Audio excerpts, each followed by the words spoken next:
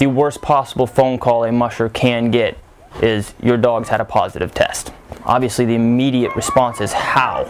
What happened? I'm probably the only person in the world that knows definitively I did not give a drug to my dog.